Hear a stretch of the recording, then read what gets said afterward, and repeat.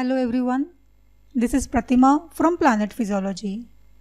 In previous part, we have studied about various transport proteins in detail and different types of transport mechanisms that cause movement of substances across the cell membrane.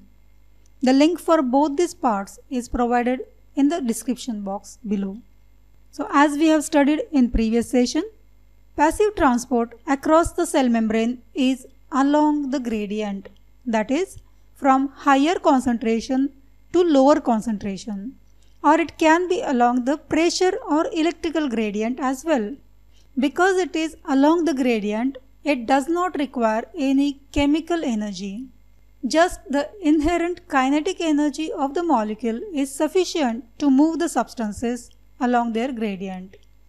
Passive transport is of two types, diffusion and osmosis.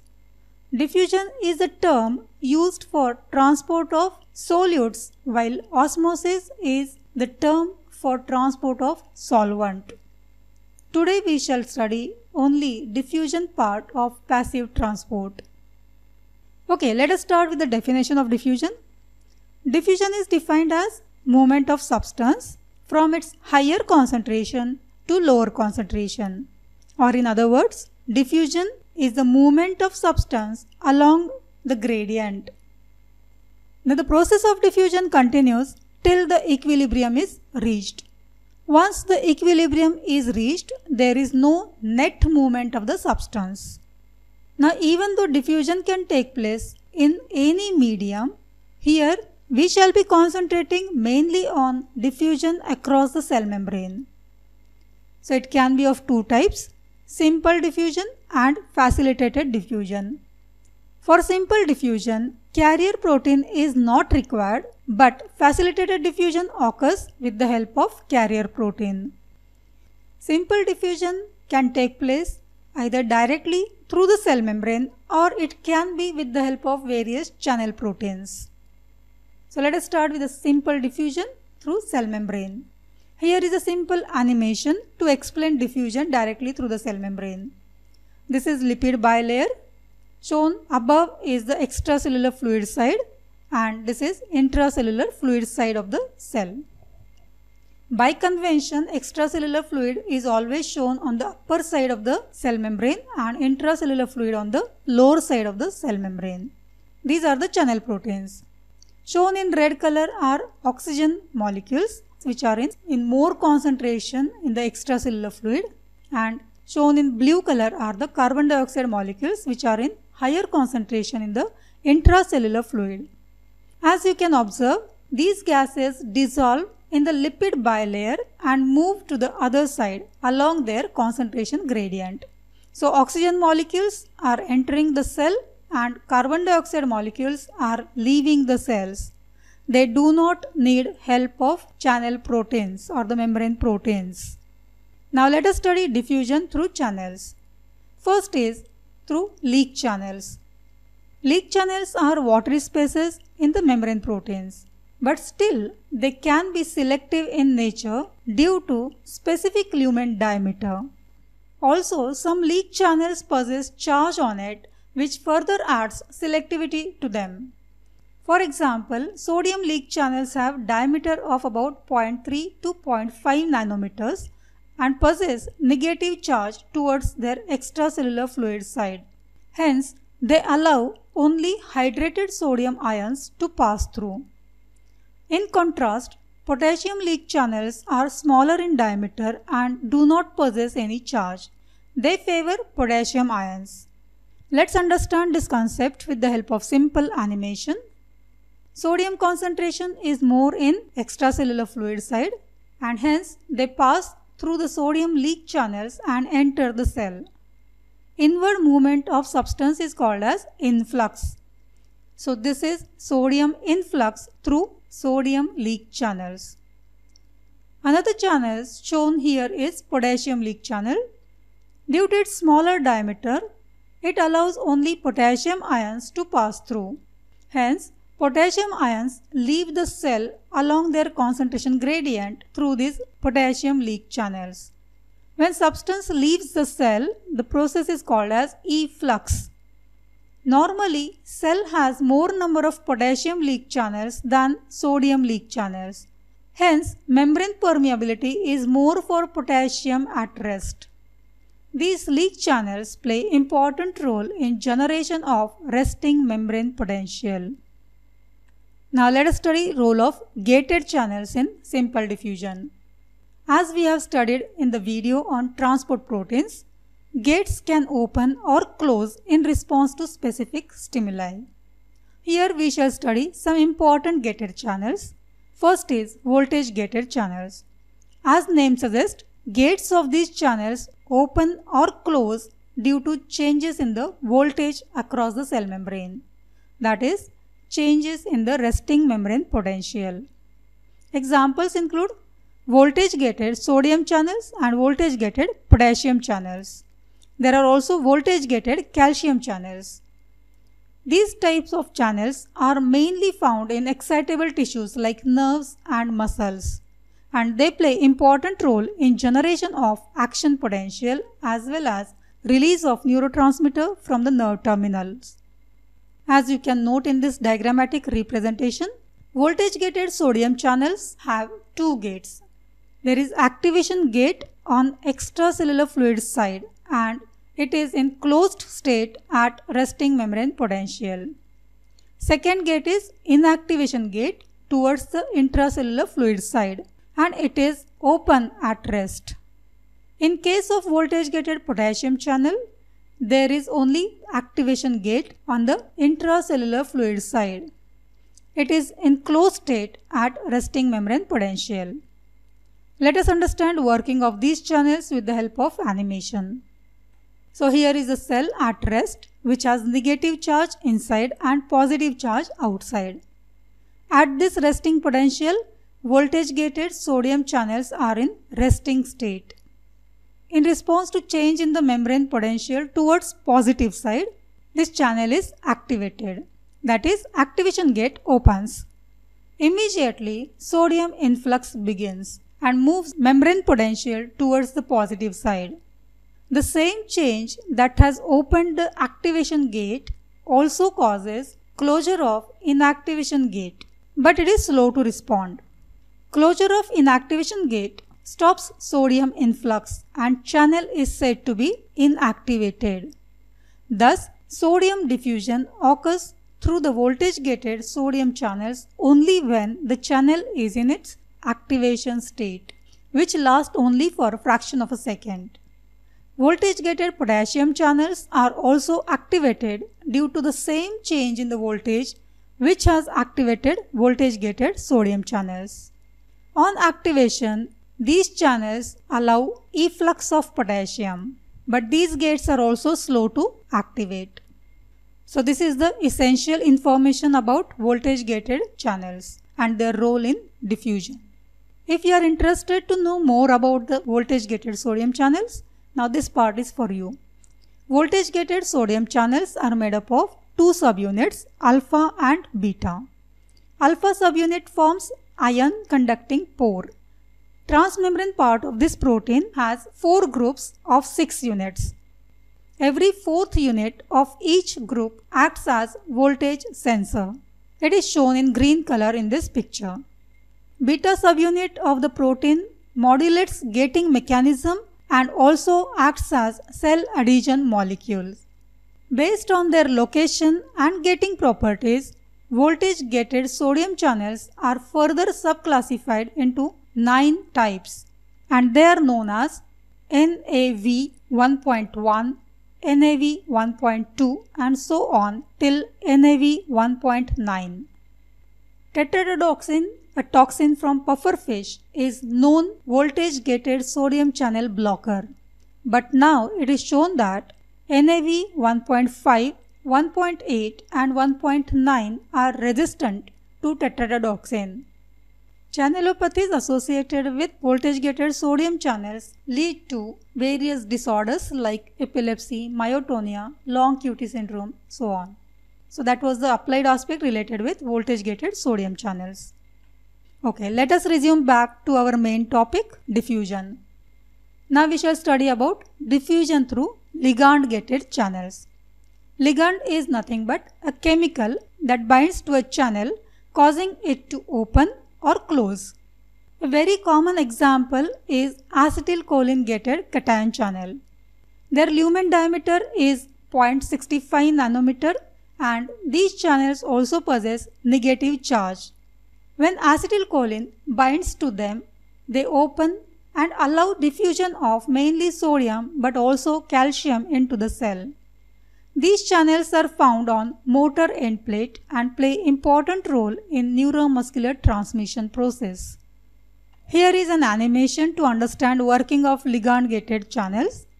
In this example, ligand is acetylcholine. So shown here is acetylcholine molecule.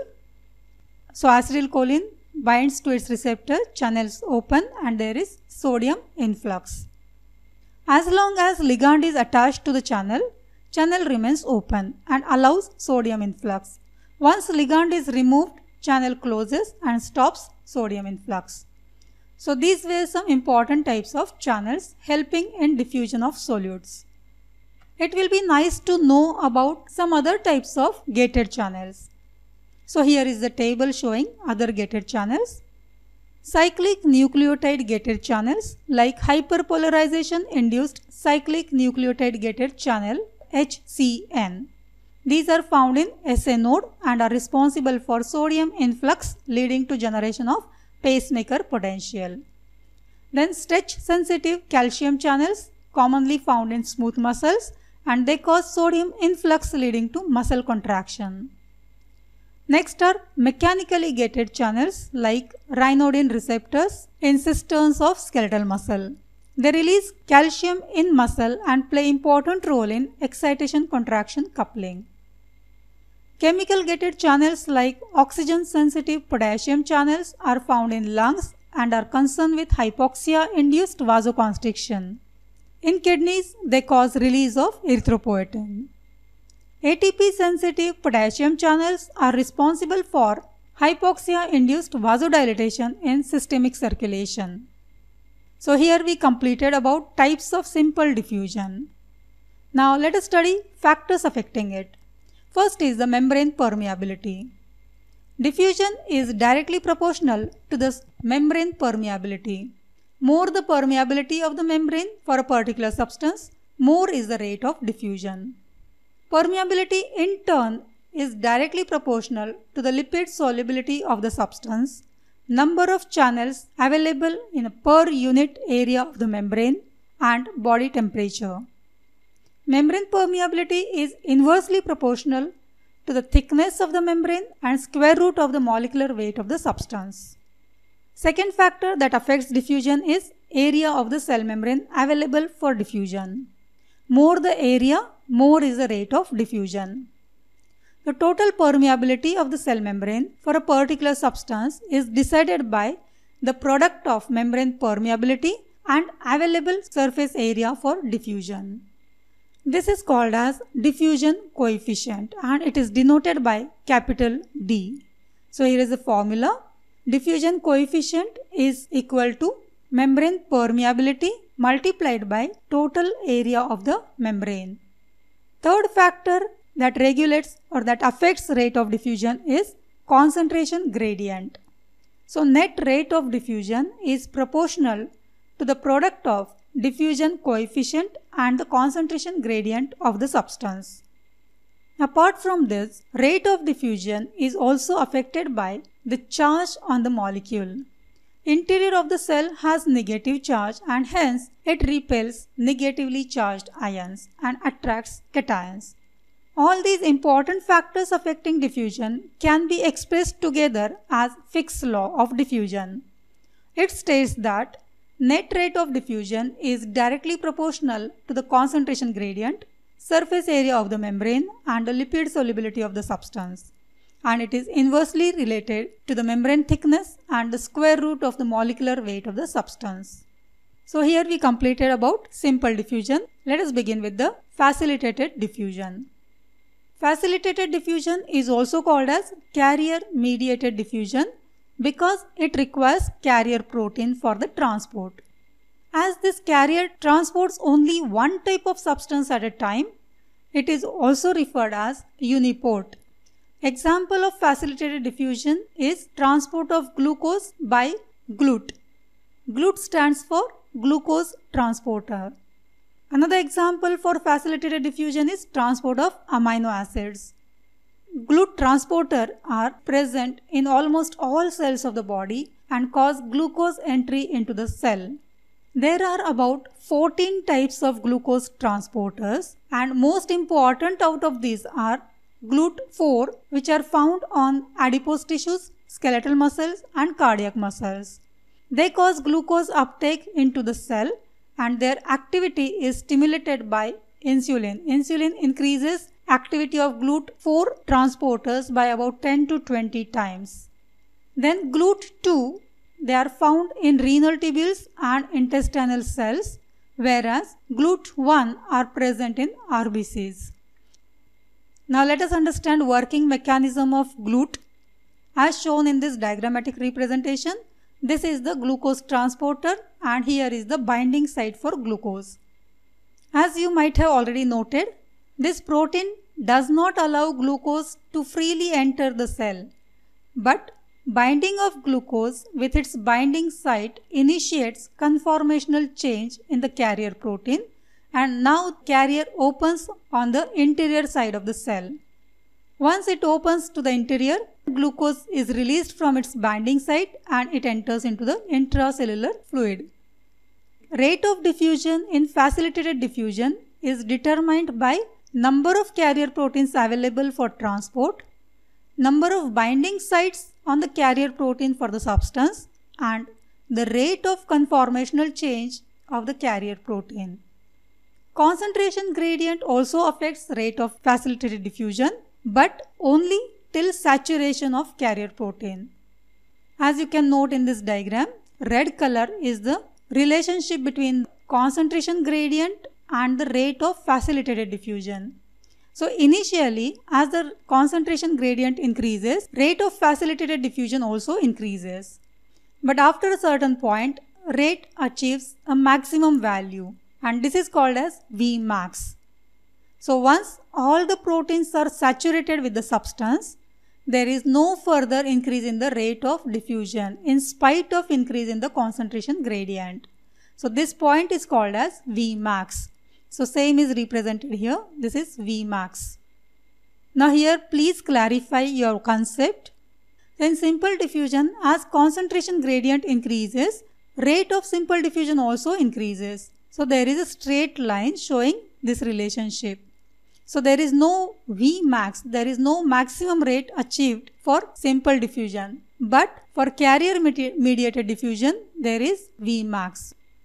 So let us summarize the important differences between simple diffusion and facilitated diffusion. Simple diffusion does not require carrier protein but facilitated diffusion requires carrier protein. Rate of diffusion increases with increase in the concentration gradient for simple diffusion whereas in case of facilitated diffusion rate increases initially and then approaches Vmax. Competitive inhibition is not present for simple diffusion but it can be seen in case of facilitated diffusion. And examples for simple diffusion like diff diffusion of gases, diffusion of sodium, potassium through their leak channels or the voltage gated channels, where in facilitated diffusion, example is diffusion of glucose and amino acids. So here we have completed about the topic diffusion. Let us quickly summarize the important points. Diffusion is passive transport which occurs along the gradient and hence does not require energy. Simple diffusion can take place directly through the cell membrane if the solute is lipid soluble. For water soluble solutes, diffusion can occur through leak channels or gated channels. Important gated channels are voltage gated and ligand gated channels. Larger water soluble solutes like glucose and amino acids are transported with the help of carrier protein and is known as facilitated diffusion. Facilitated diffusion attains maximum value called as Vmax.